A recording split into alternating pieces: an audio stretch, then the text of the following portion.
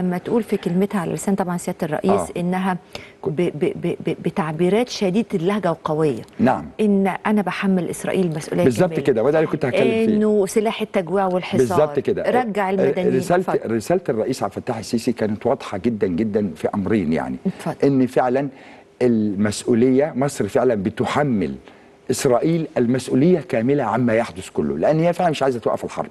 هي عايزة تصفية القضية الفلسطينية وتهجير الفلسطينيين. ده الهدف الرئيسي. والولايات المتحدة الأمريكية بتساعدها وبتؤيدها في هذا المنحى. وبالتالي كان في الرؤية المصرية واضحة وصريحة إن مصر بتحمل إسرائيل والولايات المتحدة أيضا كمان المسؤولية الكاملة عما يحدث. ده رقم واحد. الحاجة الثانية ودي المهمة هي عملية المساعدات الإنسانية حرب التجويع. آه. الشعب الفلسطيني الآن يعاني مش الحرب السلاح والذبح وال و- و- ونحر الفلسطينيين والكلام ده كله. لا ده في أخطر من كده التجويع. التجويع. أنت عندك دلوقتي أنت عندك آه، آه، غزة تعيش يعني كارثة إنسانية حتى الل- ال- ال- اللجنه اللجنة التابعة للأمم المتحدة اللجنة المستقلة قالت الكلام ده أيوة. قالته بصراحة شديدة قالت إن الشعب الفلسطيني دلوقتي بيعاني حرب تجويع حرب تجويع يعني تخيلي كل المساعدات الإنسانية دي كلها ما بتصلش ما بتصلش والمعبر معبر رفح من الجانب الفلسطيني إسرائيل. يعني لك أن تتخيلي الجنود جنود الاحتلال الإسرائيلي يحولوا معبر رفح من الجانب الفلسطيني إلى كباريهات وملاهي ليلية حاليا دلوقتي. هذه كارثة هذه كارثة.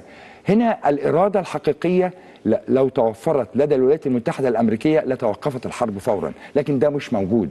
ولذلك مصر هنا هنا العملية مصر عليها عبء ثقيل جدا جدا بالمشاركة مع بعض الأشقاء ال- العرب طب يعني الأخبار اللي طالعة بقى بخصوص سير المفاوضات آه. ومطالبة مصر وقطر بالضغط على حماس بالظبط لا طب هقول لك حاجة يعني لا أنت عندك النهارده حماس- في تصريحات صدرت اليوم كمان إن آه. حماس نفسها بتحمل الولايات المتحدة الأمريكية عرقلة المفاوضات نفسها قالت أنا ما لا اتضغط مع عليا ولا اتهددت. باعتقال أو طرد بس كده. أنا عايزة أرجع بس لإيه اتفضلي الطرح الأمريكي آه. والرد الحمساوي اللي أمريكا بتقول في منه ينفع ومنه ما ينفعش نعم. مع إن الواحد لما يفكر كده طب ما الورقة الأمريكية كانت بتقول وقف إطلاق النار تمام. والانسحاب من غزة تمام. والكلام ده كله طب ما حماس بتأكد على ده المعلن يا أستاذة لبنى يا آه، يا. أستاذة لبنى المعلن آه المعلن آه. اللي أعلنته الولايات المتحدة الأمريكية آه. غير غير الورقة غير. الفعلية غير المكتوب آه. آه. وبالتالي ده طبعا يعني المعلن شيء والمكتوب شيء تاني آه، مختلف تماما وبالتالي هنا حم... زي ما حضرتك قلتي الورقة المعلنة بتقول آه، وقف الحرب و... و... و... ومحدش يعرف الحقيقة غير آه.